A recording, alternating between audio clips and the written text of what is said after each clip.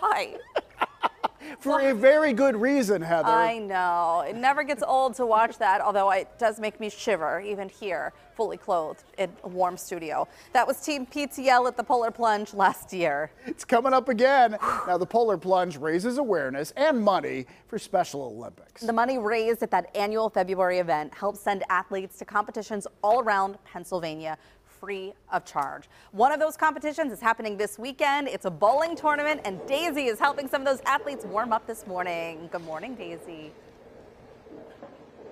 Hi guys, yes, looking at that footage, it makes you wonder why in the world did we plunge? But it is, again, for a great cause for the Special Olympics. And they actually have another competition this weekend. I'm actually here with Andrew Fee, who's the executive director of the Three Rivers region. Yes, okay. correct. Yes. So I know that you guys have a very special competition coming up this weekend. But first, tell people that may not be familiar with what exactly the Special Olympics do.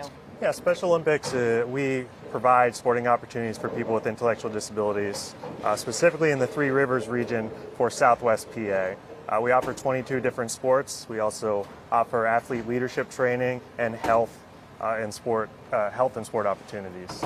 Uh, Yes. There you see some bowling footage uh, from prior competitions, but this will actually be our first bowling regional championship that we've ever hosted here in Pittsburgh.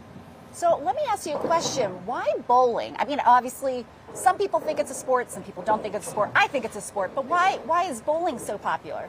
Well, it's a very inclusive sport. A lot of people can participate. So we have people that utilize wheelchairs that participate. We have people uh, that uh, can't always hold the ball with their fingers. That we have Yeah. adaptations where they can participate. So it's a really inclusive sport, and it's a lifelong sport. So that's why I think.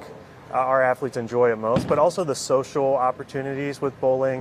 You know, you take, you throw two balls, you go back, Yeah, uh, and and hang are able to hang out and talk. And the social opportunities within Special Olympics are so important too. Absolutely. And and you said that this competition that's coming up is going to uh, allow them to be a part of the the Winter Games in York.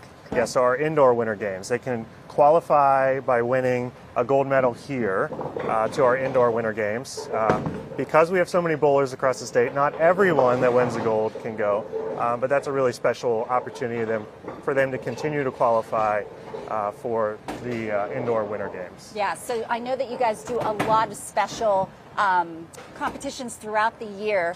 And what? Why do you think that this one actually brings so many people out?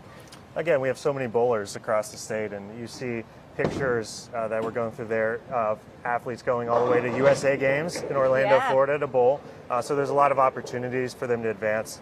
Uh, so bowling, again, really inclusive, really special sport. Uh, all of our athletes enjoy participating in it, and this is why we plunge, right? Absolutely. We all these programs are absolutely free of charge to our athletes, uh, and that's why we continue to promote and push the Polar Plunge, Yeah. so our athletes get opportunities like this. I love that that that those those um, opportunities allow people to actually, you know, be able to participate in these games. Now we actually have two special bowlers here. We have Ben and Jeff, and they are totally like kicking my butt. And we want to see what, yeah, we want to see what you guys have to do because you guys have uh, much better skill at this than me. So, all right, let's go, guys.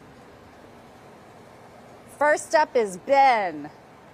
Oh, and Jeff. Oh my gosh, we got a strike! Woo! Good job, Ben and Jeff. All right, now we got to see how well I can do. I don't know. They've been giving me tips all morning, but we'll see. That was a bad one. Oh! Hey, I got number one. That's all right. Fun, fun, All right, fun, but you know what? There's room for improvement there, Daisy. And I thought your form was good. I thought your release Yeah. was good. I'm loving this. This is so All right, great. let's Is it a strike, strike, I strike? was go, go, trying. Oh my gosh. Oh, so That's close. so So close. close, Oh, Jeff. two so pins close. All right, lots of fun. Thank you so much, Daisy, and thanks to the Special Olympics for inviting us there today to get a little preview of the fun that they're having. And remember, the Three Rivers Bowling Tournament is this Sunday. The Polar Plunge, though, happens February 25th. Yeah, and you can still help Team PTL because we have a group plunging again this year. We're going to put a link on our Team PTL for the Polar on the Polar Plunge page, I should say, on our website, pittsburghtodaylive.com, so that you can make pledges.